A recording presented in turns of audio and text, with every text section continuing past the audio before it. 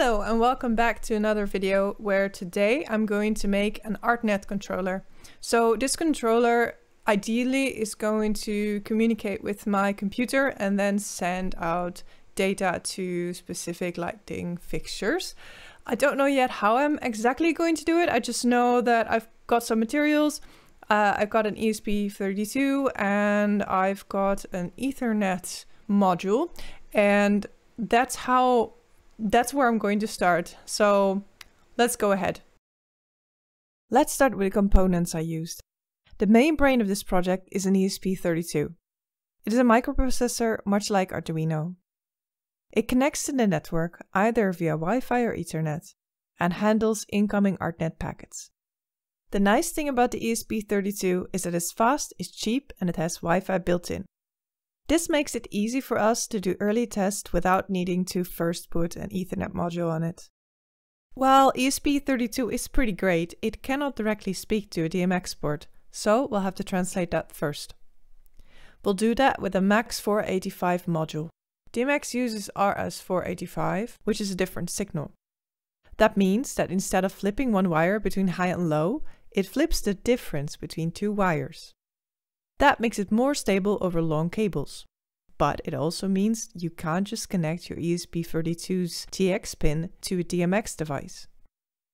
You need something in between to handle the electrical side. That's what this module does. Then you need a female DMX port.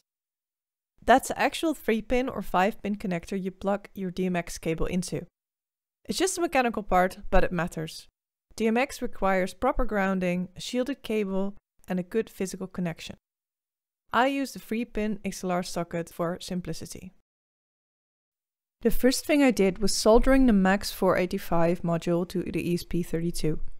There are three key connections, power, ground and data. After that, I soldered the DMX port to the MAX485 module. Pins A and B from the MAX485 go to pins 2 and 3 on the DMX port, ground goes to pin 1. That's it, three wires and you've got DMX output. The wiring is simple, but you do have to be precise. One flipped wire and your signal either won't work or will act strangely. And if you don't ground it properly, some fixtures will flicker or not respond at all. It was time for some testing. I hooked it up to my computer and turned it on. And nothing was working. So I needed to revisit some steps. I got my multimeter out and started going after each and every connection, testing if the soldering was done right, and uploaded some test sketches for each function to see what did and what didn't work. At first I couldn't figure it out, and I spent quite some time resoldering and even testing another socket against better knowledge. Then I went looking at the code, especially at the debug monitor. Everything kind of looked okay, and the web page I set up to change IP address worked too. When I looked closer, I saw that all the separate parts were starting, but I had placed some code in the wrong order. After fixing this, I was able to test via Wi-Fi. Now it was time to add the Ethernet module, as I didn't just want to rely on Wi-Fi because it can lead to instability of the signal. Here too I bumped into code issues, which I figured out after measuring the physical connections with my multimeter again. I saw the device was continuously going into a boot loop when I was using certain libraries in my code. After some digging, I found out that my Wi-Fi library, which I used before for testing, wasn't compatible with my Ethernet library. It caused a crash and my device went into a boot loop because of that. I swapped ESP async web server for Wi-Fi server and soon I actually had some signal. Now it was time to add a second universe, since I really wanted to have two instead of one, which is regular on most cheap-ish retail devices. I went ahead and duplicated my MAX485 and DMX modules, linked the power and ground to the existing setup, linked the data separately, and then did some copy pasting and minor changes in the code to make it work. Of course, now that everything worked, I started thinking about housing. I had an existing metal box, but I couldn't fit the components in there smartly. Then I saw the little transparent box I'd used to store my project in all this time. Actually, this was the perfect size and shape, and it would be easy to cut holes into for the connections. I made a bit of a puzzle where everything should go. Then I went ahead and melted, sawed, drilled and sanded my way through the box until I ended up with everything in place.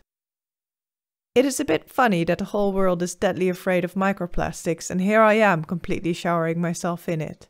The irony. In order to put everything in the box, I had to resolder a few parts since it had to go through holes, but that was easy after all the practice I had. Initially, I wanted all the connections on one end, but it was simply not possible. So I made one of the DMX boards on the back. I had mounted the ESP32 and the Ethernet module to the bottom of the box and that worked wonders. I made it so that you can still open the box to access the parts in case of anything breaking. Plus you can see all the lights, which I think looks really cool. Okay, so we finally got it. We got the Ethernet module, we have power here, and then we have two universes in there that both go to lighting. You can see it on the wall actually. And if I plug this in, we can already see. So this is universe number one. As you can see on the wall. And this is universe two. Awesome. And I might still make some changes or make it neater but for now, I am really happy with the results. Everything's kind of tidy in here and um, it cannot really go anywhere, which for me is most important. And it just has a lot of blinking lights that you can now see because it's see-through. So yeah, really happy. Thanks for watching. Like and subscribe and see you later.